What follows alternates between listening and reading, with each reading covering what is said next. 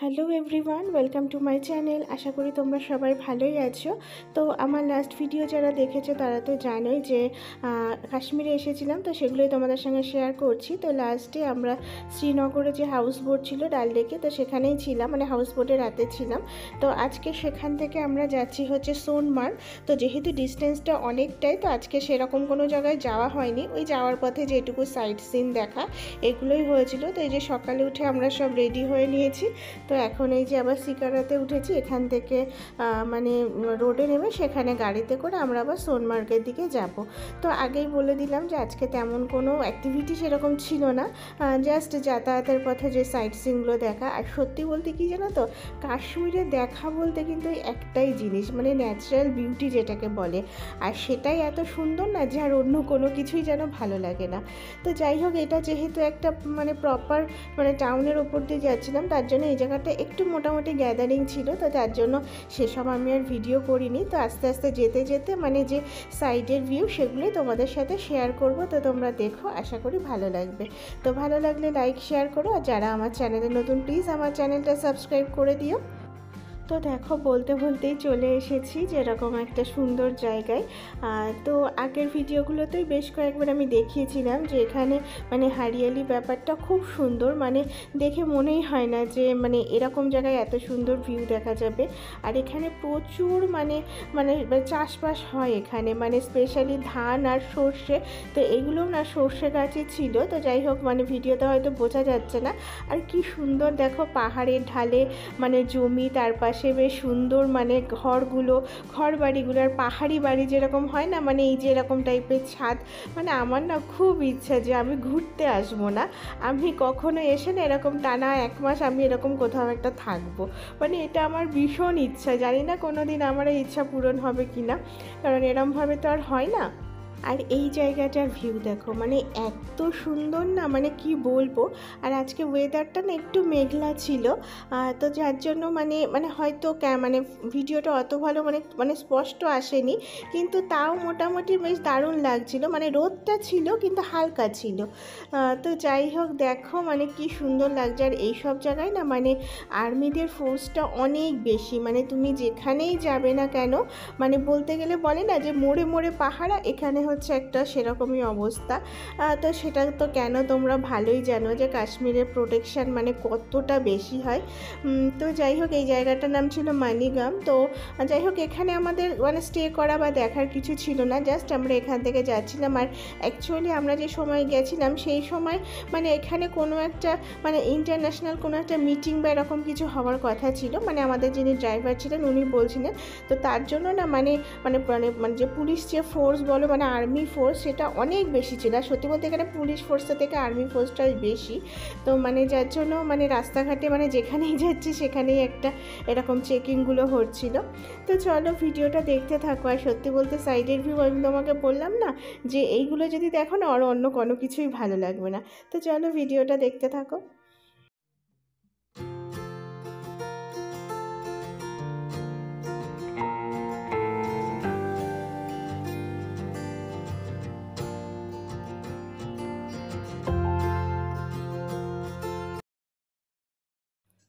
এরপর আমাদের একটা হোটেলে নামিয়ে লাঞ্চ করানো হয়েছিল। তো যেহেতু মানে রানিং অনেকটাই ছিল, তো তার জন্য আজকে আমাদের হোটেল থেকে খাওয়ানো হয়েছে। আর সত্যি বলতে মানে এত থার্ড ক্লাস খাওয়া দাওয়া মানে কি বলব? তো আমি তো কিছুই নেইনি, একটুখানি চিকেন নিলাম। তো সেটাও অতীব জঘন্য। আর ভাতগুলো তো মানে কি বলব? মানে সেই মনে হচ্ছে না খুদের ভাত। তো কিছু করার নেই, আমি তো যা হোক একটু একটু খেলাম, কোনো রকমের সব খাইও নি তো এরপর আমরা না একটুখানি বিকালের দিকে বেরিয়েছিলাম। মানে বেরিয়েছিলাম বলতে আশেপাশে কিছু সাইট সিন ছিল ছোটোখাটো, তো সেগুলোই একটু দেখার। তো সেখানেই যাচ্ছিলাম, তো চলো সেখানে গিয়েও একটু মজা হয়েছে, সেগুলো তোমাদের সাথে শেয়ার করছি।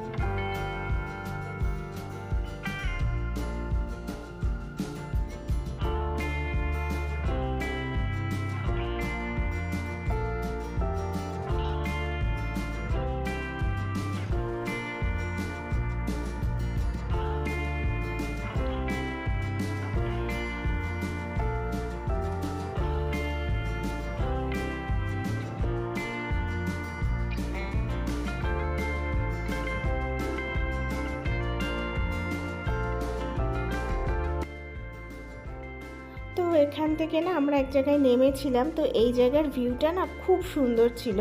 আর জানি না তোমরা ভিডিওতে কতটা বুঝতে পারছ মানে এখানে যে মানে পাহাড় পর্বত যেগুলো রয়েছে না, সেগুলো এতটাই উঁচু মানে পুরো যেন মাথা মানে বেঁকিয়ে দেখতে হয় এরকম একটা ব্যাপার। আর এই জায়গাগুলো না মানে একদম পুরো সবসময় মানে খুব মানে ঠান্ডার সময়, তো একদম বরফে পুরো ঢাকা থাকে, তো এখন সেটা নেই, অল্প কিছু রয়েছে। তো যাই হোক, এই জায়গাটাতে আমরা মানে আমাদের তো খুব ভালো লাগছিল আর মোটামুটি না ডিস্টেন্স অনেকটা মানে আমাদের অনেকটা হাঁটতে হয়েছে।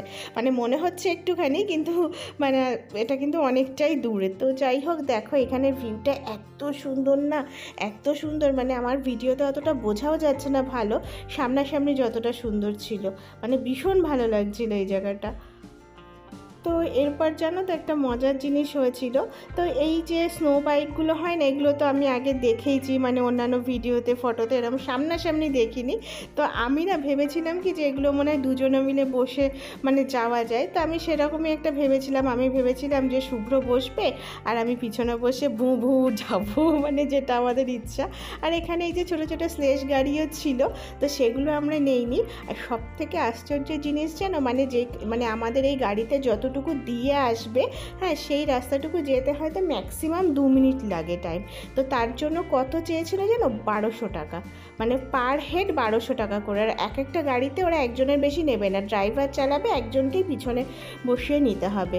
তো ভাবো, বারোশো টাকা করে দেওয়া সম্ভব? তো যাই হোক, আমরা যেহেতু অনেকে ছিলাম, তো অনেক বলে টোলে সেটা আমাদের আটশো টাকায় নেমেছিল। তো ভাবো মানে আটশো টাকায় দুই দুই চার মিনিট। মানে কতটা গায়ে লাগে বলো ব্যাপারটা। তো যাই হোক এসেছি যখন উঠতেই হবে। তাহলে স্নেচ গাড়িটা আমার না ঠিক ইচ্ছা ছিল না। যে স্নো বাইক চড়বো, এটা তো আর আমাদের সব সময় হবে না। তো যাই হোক, আমরা দুজনেই উঠেছিলাম। তো ইচ্ছা ছিল পরের পিছনে বসবো, তো সেটা তো হলো না। এই ড্রাইভারের পিছনে বসে ভু ভু করে যেতে হলো। তো যাই হোক, সে যাই হোক এনজয়টা কিন্তু করেছিলাম। সে দু মিনিট হোক আর যাই হোক, মজা কিন্তু বেশ ভালোই লেগেছিলো।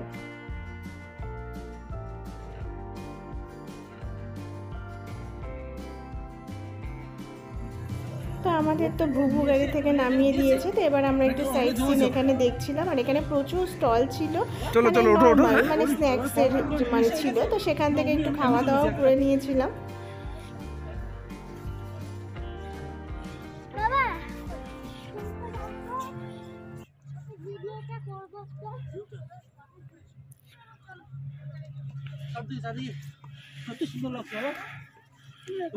অসাধারণ।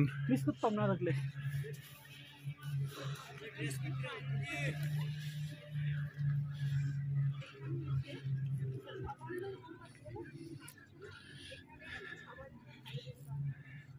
সব কিছুতে ভালো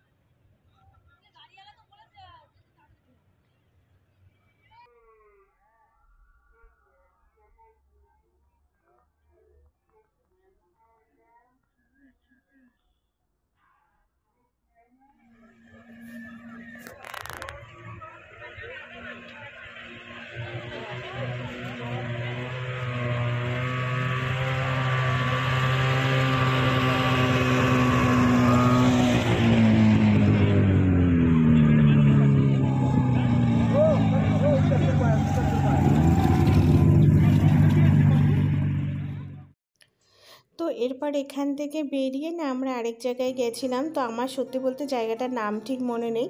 আর মানে এখানে আমি বললাম না, দেখা মানে সেই একটাই জিনিস মানে ন্যাচারাল বিউটি যেটা। আর সত্যি বলতে না মানে এত ভালো লাগছিল, এত ভালো লাগছিল যে আজকে যেন তো কি হয়েছে? মানে আমরা ফিরতে ফিরতে মানে হোটেলে ঢুকতে ঢুকতে নটা বেজে গেছে, কিন্তু তাও না মানে ইচ্ছাই করছে না মানে এত ভালো লাগছে। আর সত্যি বলতে মানে যতটা না ভালো লাগছে, ততটা ঠান্ডাও লাগছে। মানে প্রচণ্ড মানে হাড় কাঁপানো ঠান্ডা যেটাকে বলে, আর তেমনি হাওয়া। মানে এত হাওয়া। আর এই যে জায়গাটা দেখছ, দেখো নিচ থেকে একটা নদী যাচ্ছে। তো মানে মানে নদীর জলটা না মানে এত পরিষ্কার মানে মনে হবে যেন তুমি নিয়েই ওখান থেকে খেতে পারো। আর চারদিক থেকে যে পাহাড়ের ঢাল দিয়ে যে বরফগুলো পড়েছে, সেগুলো গলে গলে কিন্তু এই নদীর জলে গিয়ে মিশছে। তো যাই হোক, সত্যি বলতে মানে এত ভালো লাগছিল না। মানে চারিদিকের মানে পাহাড় মানে এগুলো দেখে মানে তোমরা হয়তো ভিডিওতে মনে হচ্ছে একটুখানি, কিন্তু এটা যে ওই যে কথাই আছে না যে কি সুন্দর, কি বৃহদাকার মানে ঠিক সেরকমই। এত সুন্দর। তো তারপরে আমরা এখানে না নেমে অনেকক্ষণ দাঁড়িয়েছিলাম। মানে ভীষণ ভালো লাগছিল এই জায়গাটা দেখতে। আর তেমনি ঠান্ডা তো রয়েছেই। তো যাই হোক আজকে সারাদিনের কিছু মুহূর্ত তোমাদের সঙ্গে শেয়ার করলাম। ভালো লাগলে তোমরা লাইক শেয়ার করো। আর যারা আমার চ্যানেলে নতুন প্লিজ আমার চ্যানেলটা সাবস্ক্রাইব করে দিও। তো নেক্সট ভিডিওতে কাশ্মীরের সেকেন্ড মানে এরপরের দিনের ভিডিওগুলো তোমাদের সাথে শেয়ার করব। সবাই খুব ভালো থেকো, সুস্থ থেকো। আমার চ্যানেল